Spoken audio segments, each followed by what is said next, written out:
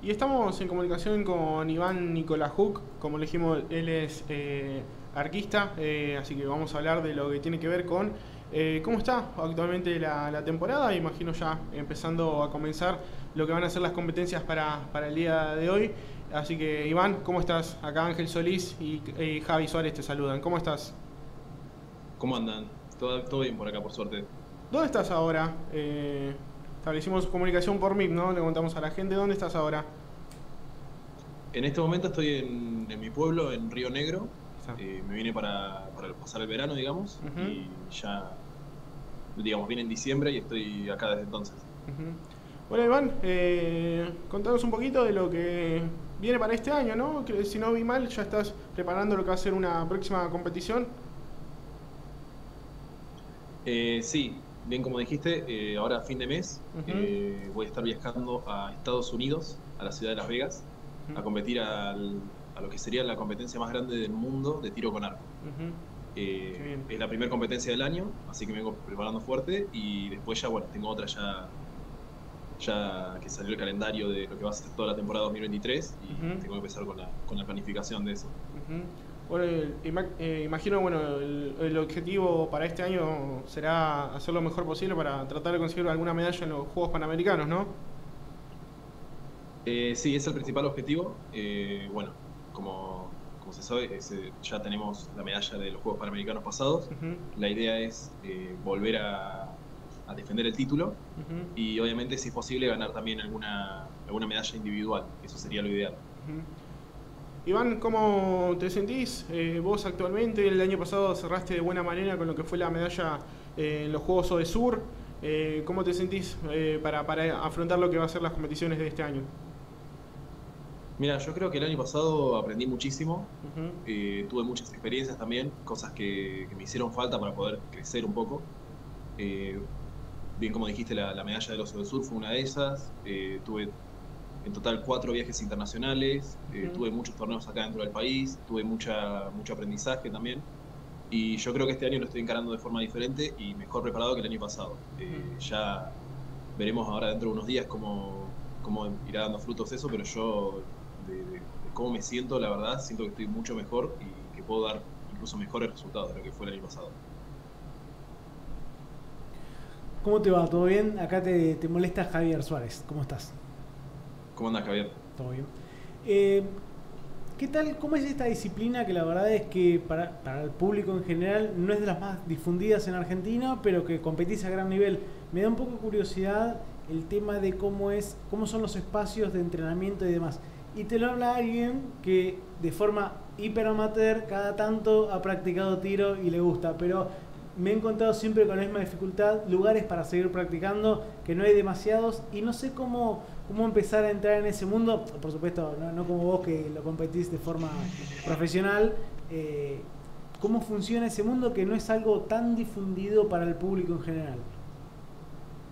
Eh, sí, bueno, a ver, de lo que es el tiro con arco, eh, los lugares de entrenamiento, digamos, como, como pasa en la mayoría de los deportes, se da gracias a clubes que tienen instalaciones, algunos clubes tienen salones, otros tienen terrenos, tipo campos de tiro.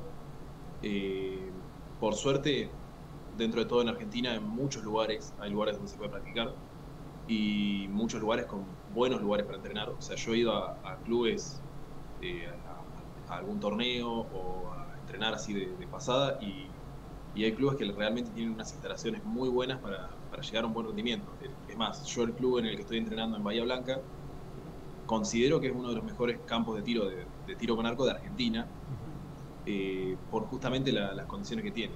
Eh, pero hay una realidad también que en el tiro con arco, digamos, tampoco es necesario la gran cosa, por así decirlo. Eh, una persona si, tiene las ganas de entrenar y sabe cómo hacerlo, tiene los,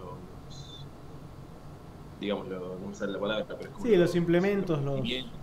Claro, eh, un lugar que, cumpla con, unas especificaciones básicas alcanza.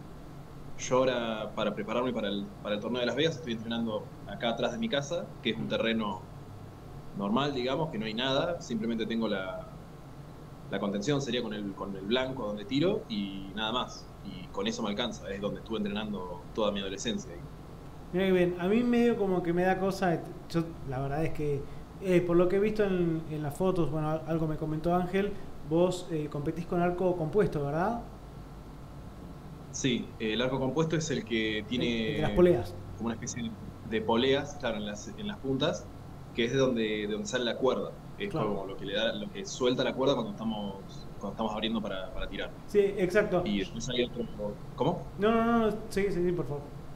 No, que después están también las otras categorías de arcos eh, tradicionales, se podría decir, eh, que obviamente también hay muchos modernos, o sea, uno le dice la palabra tradicional y piensa en algo de madera o cosas así, y la realidad está muy alejada de eso, pero también siguen existiendo todas esas categorías, o sea, no es que, que quedó atrás, siguen existiendo la gente que tira con arcos de, madera, que tiene un palo con una cuerda también. Sí, sí, sí, el clásico recurvo, si no me equivoco. Eh, claro. Sí, en general acá en esta zona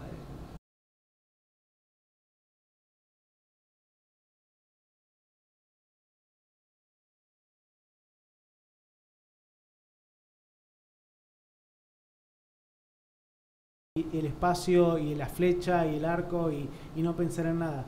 Por un lado, ¿cómo arrancaste? Y segundo, ¿cómo lo ves como, como deporte para inculcárselo a los demás? Porque por lo menos en lo personal me parece un deporte hermoso. Eh, sí, bueno, yo arranqué literalmente de casualidad, fue como arrancar otro deporte cualquiera. Yo hice otros deportes en mi vida y un día dije, bueno, quiero hacer arquería, para, para probar, para ver qué onda lo pensé también como diciendo, bueno, voy a ver un tiempo y si no me gusta, lo dejo, no pasa nada. Y me terminó gustando, simplemente seguí yendo, seguí yendo y me empecé a meter más en el deporte y ahí me empecé a, competir, empecé a crecer el rendimiento, todo lo demás. Pero fue medio de casualidad. No es que, no sé, vi una película y me dieron ganas de arrancar. Fue como random. Ah, descartamos Avengers entonces, no fue por Avengers. Claro, sí, esa, o sea, obviamente las vi a todas esas películas y siempre que lo veía me gustaba, pero, pero no fue por algo de eso que me ah. nació de, ver una película y decir, quiero empezar por eso. No, descartamos tirar bombas con flechas, entonces en las competencias eso no va a suceder, pero, pero es muy interesante, digamos. Pero nada, eh, y respecto a la otra parte, que lo que te consultaba, perdón porque me mezclé bastante, tiene que ver con esto de que me pareció que es una disciplina, por lo menos desde lo personal, soy una persona muy nerviosa y me cuesta mucho concentrarme en una sola cosa y me pasa con el arco que te plantás y sos vos el arco y no pensás en otra cosa, te concentrás, obviamente te insultás mucho porque, porque yo tiro horrible comparándote con vos, tremendamente horrible, pero la verdad que me parece que tiene como esa sensación de que estás conectado con algo, eh, digamos, analizás el, el, lugar en que estás, si hay viento, no hay viento, que me parece súper interesante por supuesto que imagino que en tu caso eh, tiene, todo, toda la presión de la competencia, pero cuando lo practicas solo, ¿no te da esa sensación de paz, de tranquilidad que por lo menos a mí me pasa? Eh, sí, a ver, yo siempre lo usé como un eh, como algo para, salir de la rutina, del estrés, de decir quiero, quiero estar tranquilo y me ponía, me ponía a entrenar. en lo que fue la pandemia, esto me tranquilizó mucho, tener el lugar acá para poder entrenar porque era algo que me, me tranquilizaba, me volvía a mi lugar en el mundo, decía yo quiero, había momentos que decía, eh, no sé, tengo ganas de no hacer nada y había momentos que decía, tengo ganas de ir a entrenar porque me salía nomás. Y sí, es un deporte que es individual, pero es demasiado individual. O sea, a ver, si vos te pones a pensar deportes que, son individuales, por ejemplo, el tenis, voy a decir un deporte cualquiera uno, eh, cuando vos jugás al tenis, si jugás individual, jugás vos solo contra otra persona. Pero la otra persona te puede complicar. En esto es vos solo, o sea, si, si la otra, si otra persona te gana o si estamos hablando a nivel competitivo, ¿no? Eh, si otra persona te gana, no solamente tuvo que ver esa otra persona, tuviste que ver vos. O sea, si yo perdí, fue porque el otro no erró lo que yo erré, por así decirlo. Eh, yo cuando voy a entrenar, yo he entrenado mucho tiempo solo, sin estar con nadie al lado charlando ni nada. Y he tenido que entrenar con gente atrás y termina siendo lo mismo. O sea, más allá del, ambiente que se forme, el deporte termina siendo uno, uno solo con, el arco y con el blanco. No hay nada más.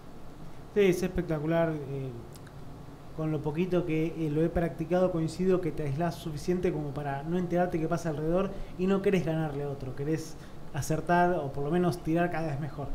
Em, ¿Cómo fue la transición de la persona que, bueno, practicaba un deporte, como cualquiera de nosotros se nota en fútbol, no sé qué, cuando somos chicos, nos se nota a nuestros papás, a alguien que de repente un deporte quizás no tradicional en Argentina lo vuelve una profesión. ¿Cómo, ¿Cómo sucede eso? Especialmente en Argentina, que como charlamos, digamos, entiendo que eh, el financiamiento debe ser difícil, eh, los torneos eh, no, no, sé, no salen por televisión, algunos puede, puede que sí, pero en general no tienen por ahí el, el, nivel de, digamos, de exposición y de cámaras que tienen otro tipo de deportes. Eh, sí, a ver, yo cuando arranqué, yo arranqué el deporte en el 2014. eh, empecé, dije, bueno, voy a ver qué onda, después me empecé a meter en las competencias un poco, y al año siguiente fui a mi primer nacional, que salí campeón nacional. Fue, o sea, pasó un año y un poco más de que arranqué y ya era campeón nacional en una categoría menor, digamos, no era que competí contra los mejores del país, pero tenía la medalla de campeón. Sí. Y ahí fue como que me inspiré, dije, bueno, llegué hasta acá, eh, podría ir por un poco más. De ahí empecé a buscar qué más podía ver y estaba la selección nacional, era lo que seguía. Y dije, bueno, voy a apuntar a eso. Llegará cuando tenga que llegar, pero voy a apuntar a eso. Y al otro año, eh, por unos buenos resultados que tuve, me convocaron para la selección en ese momento yo lo vi como algo único. Fue como que dije, es ahora o nunca. O sea, cuando me, cuando me llegó el, el mail de, de, de, convocatoria, digamos, fue como que dije, no lo puedo creer. Realmente no, no, no sé cómo, no, no, puedo creer que me esté pasando esto. Y lo vi como algo único, digo también, porque yo pensé que era esa ocasión y listo. Es como decir, fui a un sudamericano, y dije, este es el torneo, o sea, después de esto capaz que no hay nada más, no voy a, no voy a vivir nunca más, lo re disfruté también. Pero después de eso siguió, siguieron las oportunidades, seguí, por suerte seguí teniendo eh, oportunidades de, entrar en la selección nacional y hoy en día ya, me, hoy, lo, hoy lo veo a ese momento y digo, wow, eh, no, no, no entiendo cómo, qué tan, en qué momento fue que pasó que pasé de, de, pensar que iba a ser la única vez a saber que tenía una carrera por delante, digamos, porque de, de un año a otro empecé a subir el nivel y empecé a darme cuenta que podía llegar a más. Y ahí fue cuando me di cuenta, digo, esto no queda acá. No fue una única vez. Qué bueno. Iván, eh, en su momento lo, lo hemos hablado, estaban eh, ustedes ahí en lo que es una lucha, ¿no? Por así decirlo, para que el, el, tiro con arco compuesto que practica que practicas vos y practican tu, tus compañeros, o sea, deporte olímpico, ¿cómo está la, la situación hoy en día? Eh, ¿Se sabe algo? Eh, no me acuerdo si hemos hablado de que se podía dar en París o recientemente en los, en los siguientes Juegos Olímpicos. ¿Cómo, cómo está esa situación hoy en día? Eh, sí, a ver, lo que fue el año pasado, eh, la Federación Mundial de uh -huh. Tiro con Arco sacó un comunicado que decía que se estaba tratando. Para París es medio imposible, básicamente. Sí. Eh, se está viendo más, para más que nada para Los Ángeles. Uh -huh.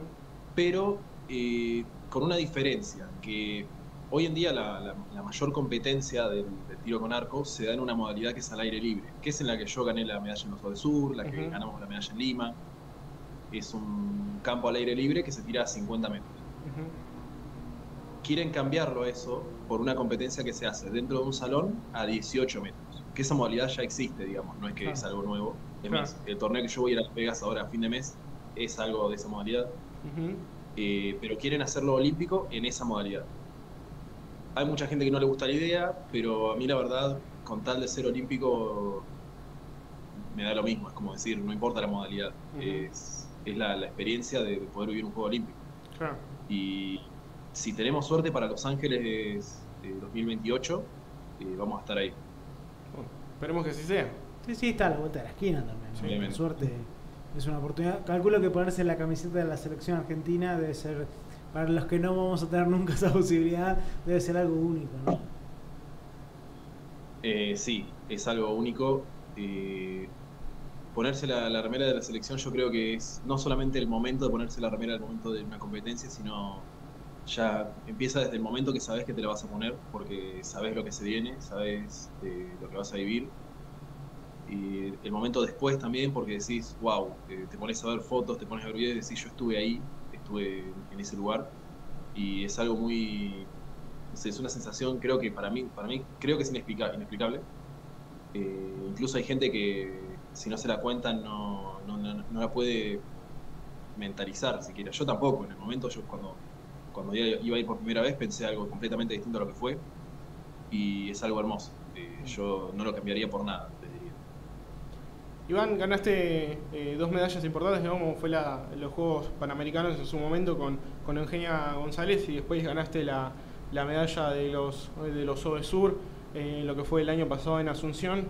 ¿Qué, qué diferencias encontrás entre, entre ambas medallas? Eh, yo creo que una diferencia de objetivos y puede ser un poco la, diferencia de experiencia también, porque la medalla de los Juegos Panamericanos de Lima, yo no la quiero decir de esta manera, pero fue un poco como forzada. O sea, forzada en el sentido de que nosotros no éramos favoritos para nada. Eh, nos enfrentamos a, equipos que sí eran favoritos, que obviamente en el momento nosotros no lo pensamos así, pero si lo ves de afuera decís, y Argentina contra Colombia, que nos tocó por ejemplo, y está difícil. Pero sin embargo se nos dio. Eh, por eso digo que fue como medio de casualidad, se podría decir. Obviamente no fue casualidad, pero me refiero, era una cosa así. En cambio la de Odesur yo fui a Odesur a buscar la, el, oro individual. O sea, la medalla que me traje la fui a buscar, no es que se dio de. Porque se dio nomás, porque salieron los planetas. Yo me preparé para ir a buscar la medalla. Tuve algunos altibajos en el torneo, pero cuando llegó el momento de ir a buscar la medalla, la, la busqué y fui por eso y la gané. Eh, por eso te digo que son objetivos diferentes y también experiencias, también pasé por mucho, desde Lima hasta Odesur. Eh, nombraste que ahora dentro de poco tenías competiciones en Las Vegas, y que iba a ser la primera del año. ¿Qué otras competiciones destacadas nos puedes comentar que vas a tener en tu, en tu calendario? Eh, después de Las Vegas, eh, en mi caso, lo próximo que tenemos planeado es un sudamericano en Ecuador. Y bueno, hay, un par de torneos de carácter internacional en Argentina, que bueno, eso todavía se está viendo en el calendario y demás. Y también están bueno, los Juegos Panamericanos, que todavía tengo que, tenemos que ver quién se queda con la plaza, porque yo, más allá de que gané la plaza en los de Sur, eh, la plaza es de Argentina, no es, de, no es mía. Entonces hay que ver quién, quién se la queda después. Eh, en su momento hemos hablado también, vos te encontrabas en las primeras posiciones eh, del ranking, no me acuerdo si era, si era mundial, pero estabas ahí en, las posiciones eh, interesantes ¿no? para, para representar al país en lo que tiene que ver ese ranking. Eras el argentino mejor ubicado, si no me equivoco, ¿no? en el ranking mundial, de mi categoría por lo menos, soy el argentino que estaba mejor ubicado. desconozco de, de otras categorías porque no me puse a, revisarlo realmente. Eh, si no me equivoco ahora estoy en el puesto 65 del ranking mundial, eh, pero yo estoy seguro que puedo llegar a más. Pasa que con el ranking mundial para poder subir hay que tener varias competencias y tener buenos resultados. El año pasado tuvimos bastantes competencias, pero me hubiese gustado tener mejores resultados. Yo estoy seguro que, podía y bueno, no se dio así. Bueno, imagino es una de las cosas que, que tenés, ¿no? Algunos de tus objetivos para, para este año. Eh, sí, entre, entre otros sí. Yo, a ver, mi objetivo principal es ser uno de los mejores arqueros del mundo. Y ya metido un poco en el deporte me doy cuenta que a veces un, resultado de una competencia o de un ranking o cosas así no te define, no te dice que sos el mejor del mundo. Eh, hay muchos arqueros que están por debajo mío en el ranking mundial, pero que son incluso mejores arqueros que yo, o que han tenido mejores resultados que yo. O también pasa que en una competencia el que queda primero no significa que le gana a todos, simplemente fue ganando uno contra uno hasta que salió campeón. Eh, sin embargo, uno se da cuenta, o sea, se da cuenta no, cuando ya está más metido en el deporte sabe cuando un deportista es de gran nivel o le falta un poco. Yo quiero pasar a ser el de gran nivel, el que me digan, el que me vean y digan, este es uno de los mejores del mundo, sin saber en qué puesto estoy del ranking, sin saber cómo voy a caer en el torneo, pero que me vean y digan eso. Iván, eh, ah, nombraste un poquito cuando comentabas sobre los, los Juegos eh, de, Lima en 2019 que no, no, eran una selección favorita, ¿no? correspondiente a la competencia con otros países. Eh, hoy en día, con bueno, lo que fueron tus, medallas, competiciones que han jugado, ¿dónde ubicarías a, Argentina? Quizás un nivel sudamericano, ¿en qué posición la, la podrías ubicar? yo creo que a nivel sudamericano estamos por no decir el. O sea, depende de la categoría. Estamos hablando de mi categoría, ¿no? Claro, sí, sí, hablamos de, de tu categoría. Sí, eh, yo creo que estamos eh, o segundos o terceros de Sudamérica. Eh, y ya de, de- de toda América se podría decir que un puesto, no sé, 6, 7. O sea, hay muchos países de buen nivel. También Sí. depende, depende del día de cada uno. Eh. Yo he llegado en el, lo que fue el Panamericano de Chile este año. Estuve por encima de arqueros que son de primer nivel, de, los mejores del mundo. Eh, sin embargo, no estuve ni cerca de poder llegar a una medalla. O sea, se dan ese tipo de cosas. Eh, yo creo que en un buen momento, bien preparados, podemos estar entre, un, entre los mejores seis o siete países de América. Eh, ahí cuando hablabas con Javi, eh, hablaban, ¿no? Eh, haciendo énfasis en que es un deporte muy individual, ¿no? Es, y como nombraste recién, también es un deporte quizás de, de momentos. ¿Cómo, ¿Cómo planificás vos desde lo personal las competencias? Eh, ¿Tenés algún psicólogo deportivo? ¿Cómo, cómo planifican los torneos en base a esto? Bueno, sí, la- a ver, la- las planificaciones tienen que abarcar todo lo posible, desde la técnica hasta la psicología, hasta, si es posible, la nutrición también. Ujú. Eh, sin embargo, a veces no se puede planificar todo y tenemos que ver qué hacemos con lo que tenemos. Ujú. Sí tuve un psicólogo deportivo el año pasado, que bueno, tuve un tiempo después, por cuestiones de, de mucho tiempo, de muy, muy poco tiempo entre competencias y demás, no retomé, pero bueno, ahora cuando vuelva, cuando vuelva al calendario de torneos acá en Argentina, voy a volver a ir al psicólogo. Y yo creo que también, o sea, lo que más suma es también tener las competencias, las experiencias, porque podés tener, podés ir mucho tiempo al psicólogo, podés entrenar todo el tiempo que quieras, pero el día que vas a un torneo no sabes qué te va a pasar. Claro. A mí me pasó el año pasado que fui al primer torneo de, de- de los de Argentina, que, eh, a ver, era un torneo normal para mí, porque yo he tirado decenas de esos torneos y estaba nervioso. Estaba contra los arqueros que son amigos míos, no, no había competencia fuerte, no- o sea, competencia fuerte me refiero, no había ganas de ganarle a alguien, era simplemente un torneo normal y Sí. estaba nervioso. Entonces, eh, no se sabe cómo va a reaccionar uno al momento de ir a una competencia. Y mientras más competencias se pueda ir, mejor. Yo creo que eso es lo, lo principal. ¿Cómo ves el nivel de, de la arquería en general en la Argentina? ¿Ves que está en un buen nivel? Que la, verdad que por ahí, por temas económicos, no, no tiene acceso a mucha gente, que necesitan que tenga algún tipo de, de inversión adicional a lo que tiene hoy día. La verdad que no es un deporte que por ahí se tenga eh, en las primeras planas, pero por ahí vos que lo conocés puedes decirnos, che, mirá, por ahí no tanto donde están ustedes, pero en el interior es un deporte que es fuerte. ¿Vos cómo lo ves? Yo creo que Argentina tiene todas las condiciones de ser uno de los mejores países del mundo. A ver, tenemos arqueros con mucho talento, arqueros con muy buena experiencia, muy buena preparación, muy buena historia, se podría decir, en el deporte. Y creo que lo que, a ver, el nivel hoy en día, en, en mi categoría está un poco más alto, pero todavía nos falta, y en otras categorías está un poco más por debajo. Pero no pasa por un tema de plata. Eh, para mí pasa por un tema más de, de organización, de planificación correcta, de, eh, digamos, eh, notar ciertas cosas que a veces no se hacen bien y corregirlas, que es lo que a veces no pasa. Eh, yo creo que con hacer eso bien pasaríamos a ser una, un- una selección que tiene el nivel para competirle a cualquier país del mundo, porque se sabe, o sea, de muchos países que con cambiar un poco el, el panorama que tienen, eh, mejoran el nivel muchísimo. Y yo creo que nos falta eso. eh, organizar bien las cosas, preparar bien a los arqueros. eh, no, no digo que sea fácil, pero tampoco creo que sea imposible o que tenga tantas trabas como parece. Creo que va por un tema más de, organización que otra cosa. Iván, te vamos dejando, te agradecemos por la comunicación, por darnos estos minutos y bueno, te deseamos lo, lo mejor para todo lo que va a ser este año, para todas tus competencias y bueno, todos los éxitos del mundo, tanto para vos y bueno, para toda la selección argentina. Bueno, muchísimas gracias a ustedes también por, por darme este lugar para, para mostrar un poco lo que fue la actividad. Te vamos a estar siguiendo a ver en los torneos cómo te va y bueno, te vamos a seguir llamando para, para salir a medida que avance el año y las competencias.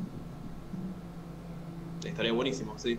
Bueno, y cuando andes por Buenos Aires, capaz que nos, podés, nos podemos reunir, ¿no? Acá en el estudio hacemos una entrevista en vivo. Me gustaría, sí, habría que ver, eh, planificar un poco y, y lo hacemos, sí. Dale. Te mandamos un fuerte abrazo, Iván. Dale, muchas gracias. Gracias a vos. Bueno, ahí pasa Iván Nicolás Juca hablando con nosotros, medallista panamericano, medallista en los Juegos de Sur también de- del año pasado en tiro con arco compuesto. Así que nada, linda, linda entrevista y bueno, Javi, nos tenemos que, que despedir. Nos estaremos viendo el jueves, El ahí con un poco más de información deportiva. Veremos cómo, cómo viene el fútbol argentino, cómo evoluciona y, y seguramente con algunas entrevistas más del deporte zonal y nacional. Bueno, el próximo jueves, como siempre, el mismo horario de 5 a 7 de la tarde. Le agradecemos a Eric nuevamente por estar con nosotros en la operación. Así que bueno, nos volveremos a encontrar el próximo jueves. El próximo jueves. Chao, gente.